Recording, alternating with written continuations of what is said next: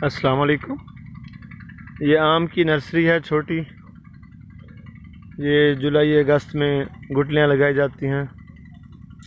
और इसके बाद दिसंबर में इसके ऊपर ये चूना किया गया है ताकि सर्दी यानी कोरे से ये बचाव हो इसका।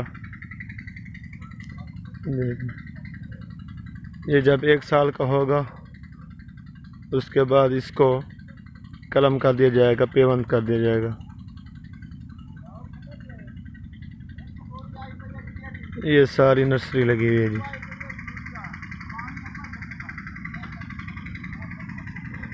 ये देख, ये उनके ऊपर गट्टू चढ़ाए गए हैं ताकि ये बड़े पौधों पर ये सर्दी से बचाते हैं। ये सारी नर्सरी लगी हुई है। और सर्दी से बचाने का एक और है। ये देंगे जो पराली है पराली का शाम के वक्त धुआँ लगाया जाता है, ताकि धुएँ की एक तह बन जाए उस जगह पर, उस इलाके में जहाँ भी नर्सरी है, ताकि सर्दी से बचा सके। ये ऐसे थोड़ी सी जगह गहरी करके इस तरह भी लगाया जा सकता है, और जो रोटी वाला वो होता है तनूर तनूर के अंदर भी ये काम किया जा सकता है।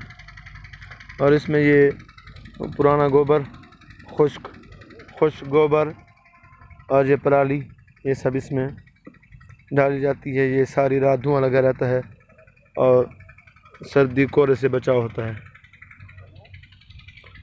ये इस साइड पे भी लगी हुई है।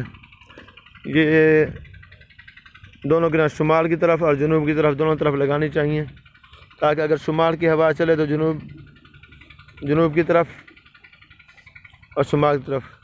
दोनों तरफ़ इसका धुआँ जा सके। उधर दूर एक लगी हुई है।